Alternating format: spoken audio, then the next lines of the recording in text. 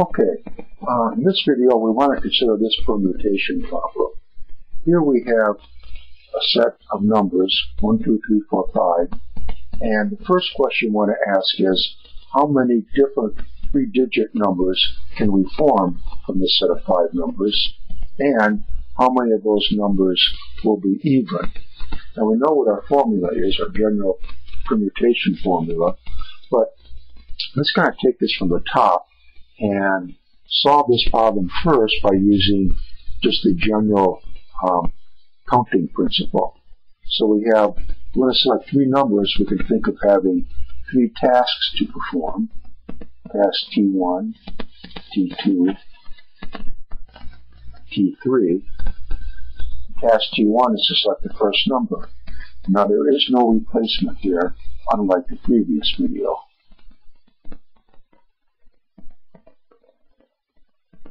So to select our first number, there's five digits to choose from, so there's five ways to do that. Now once we've selected a number, say we selected 2, then when it goes to select the second number, there's only four numbers to choose from. So there's four ways to perform task number 2. Let's say we select the number 4. So that now when we go to select the third number, there are three choices left, so there are three ways to perform task T3. So if we ask ourselves, if we're going to perform task T1 and T2 and T3, what's the total number of ways we can do that? That's 5 times 4 times 3 equals 60. So there's 60 different three-digit numbers that we could form from this set. Okay, well, here's our general formula. So here, if we just applied the formula, we would say, well, it's five numbers. We're going to select three of them.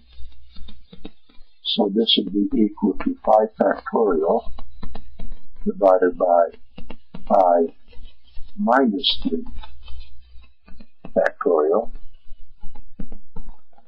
That's 5 factorial divided by 2 factorial.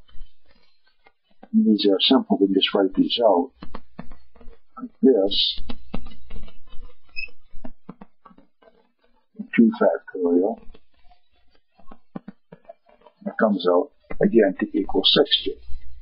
So there are 60 different three-digit numbers that we could form from this number group.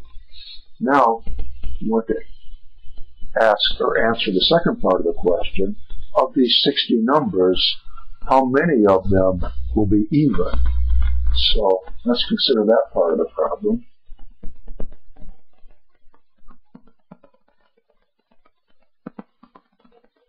So we have these digits.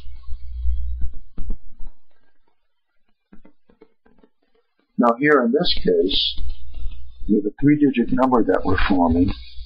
If the last number is even, then the entire number is even. For example, if we had 532, that's an even number. So here what we had to do is think of, all right, how many ways do we have to complete, to choose a number for our final digit? We need to have an even number here. And in our series, there's two even numbers. So there's two ways that we can fill in the last digit I choose another one of these. Then for the digit next to that, that means then want to choose that number, one of these is gone. We say this one, so that means now there are four numbers to choose from. Then for the first digit, let's say we choose this, so that means then for the first digit, there's three numbers that can fill that slot. So the total number of ways that we can generate an even number is 12 times 2 equals 24. So let's go over this again so we don't make certain we avoid confusion. That we'll just start right from the top. We have right this series of numbers now if we pick out three of them, if we form 60 different numbers, we want to know how many of these numbers are going to be even. That means then that the third digit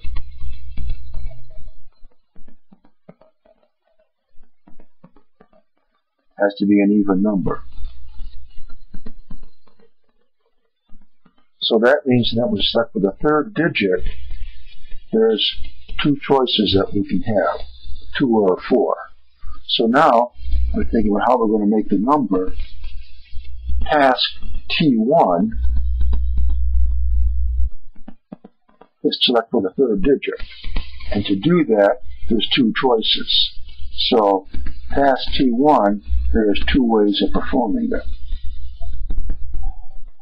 Now task T2, that is interceptor number for this slot. Well, one of these even numbers is gone, so to perform task T2, now we have four numbers to choose from.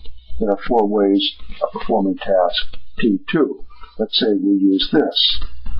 Then task T3 is to fill in the first digit. By the time we get to doing that, two of the numbers have already been used up, so there are three ways to perform that task. The total number of ways then is 3 times 4 times 2 to perform T1 and T2 and T3. It is 2 times 4 times 3.